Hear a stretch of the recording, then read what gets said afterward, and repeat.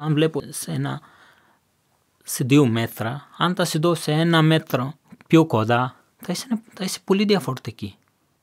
Αν θα σε δω από μακριά, από πίσω σου, προφανώς δεν σε γνωρίζω γιατί πίσω σου είναι πλάτη σου.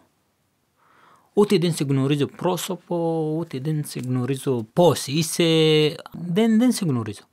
Αλλά όταν γερνάω και εσύ γερνάς μπροστά μου, πώς είναι καλό να μιλήσω.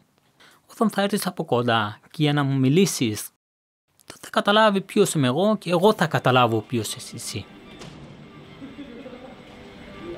Δεν φοβάμαι όπου και να πάω. Άρα, όταν εγώ δεν φοβάμαι, αυτός γιατί φοβάται; Εγώ έχω πάει ήρθε σε άλλη χώρα. Γιατί μπορεί για μένα ήταν πιο δύσκολα παρά εσένα.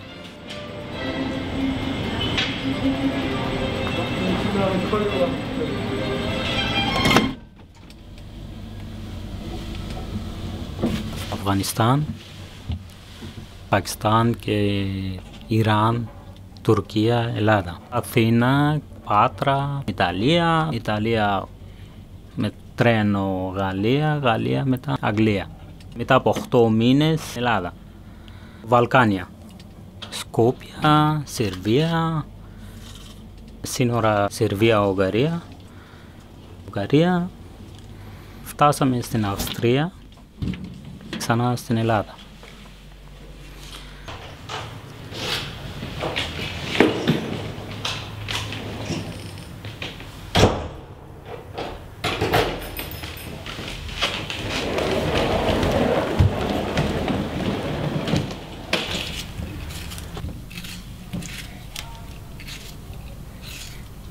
Προφανώς ε, είχα θυμό μέσα μου που δεν μπορούσα να βγάλω έξω. Θεωρούσα τον αυτό μου πολύ άτυχος. Έλεγα λέω πώς μπορεί να είσαι άτυχος και να πας και να ταξιδεύεις, φτάνεις σε μια χώρα, σε πετάει σαν μπάλα σε άλλη χώρα. Πας ξανά και πάλι σου πετάει σε μια άλλη χώρα. Ένιωθα λίγο και αδικία προς πλευρά μου σαν άνθρωπος. Αλλά μετά από πάρα πολύ καιρό με προσπάθεια και αυτά όλα δουλειές που άλλαξα, δεν είμαι σίγουρος από την πλευρά του οικονομικού κομμάτι ότι μπορώ να πληρώσω ρεύμα, μπορώ να πληρώσω νίκαιο, μπορώ να πληρώσω άλλα πράγματα, φαΐ και αυτά. Και άρχισα να σιγουρευτώ και για να πιστεύω ότι κάτι θα γίνει. Και πίστευα πάντα ότι θα έρθουν καλές μέρες.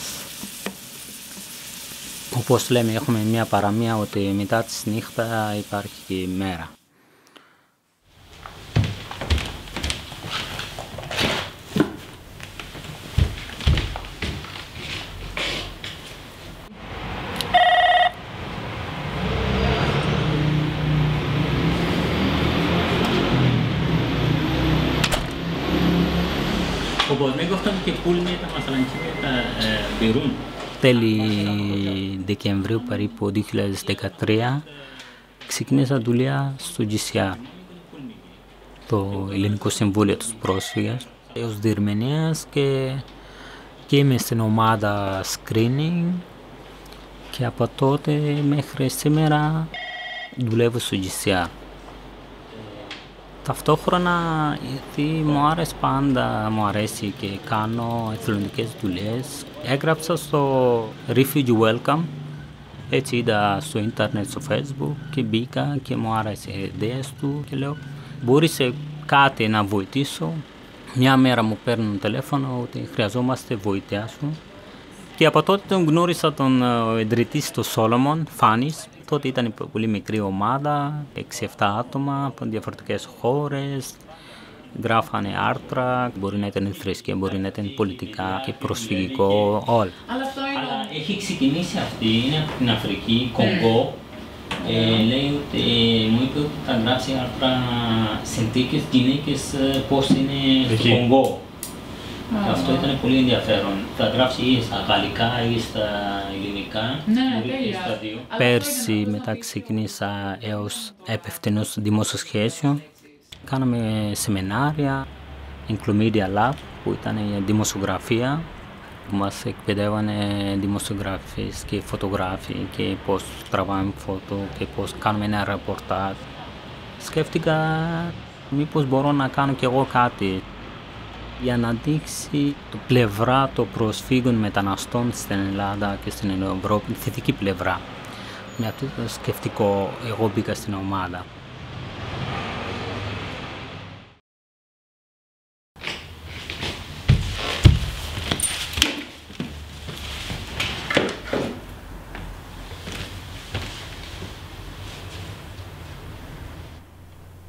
Δεν συνάντησα ποτέ έτσι κάποιος. Πάντα σκέφτομαι, λέω, κάποιος να έρθει να, να μου κρατήσει από το χέρι και έλα. Εγώ είμαι δίπλα σου. Αυτό το λέξη, έλα εγώ είμαι δίπλα σου, δεν έχω ακούσει ποτέ ότι κάνε προχώρα μπροστά.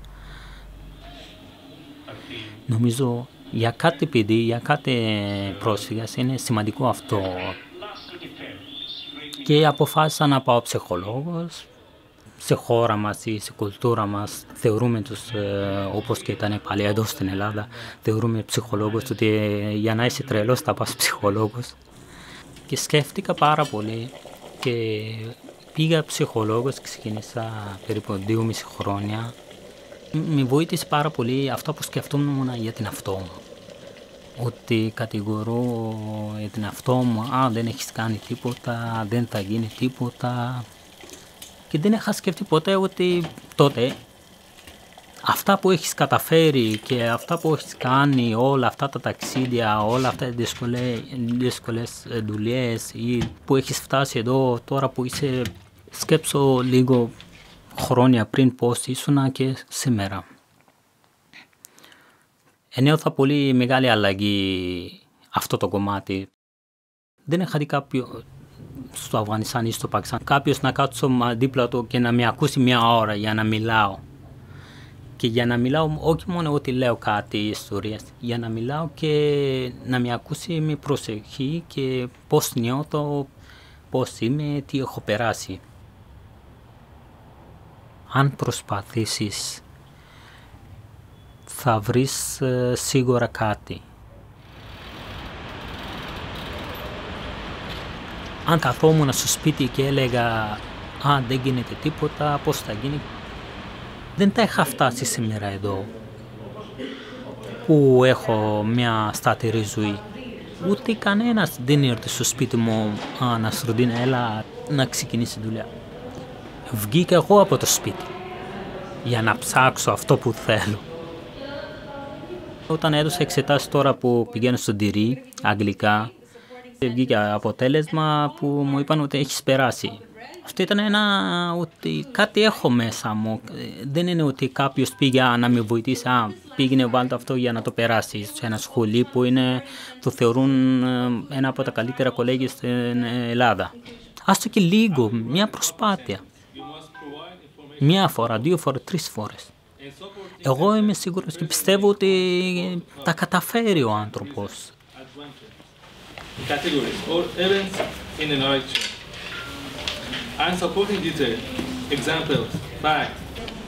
Ξεκινάς από το κάμπ να μπεις σε ένα κολέγιο. Πάντα είχα ένα όνειρο να μπω στο πανεπιστήμιο. Να βοηθάω, να κάνω καλά πράγματα στη ζωή μου.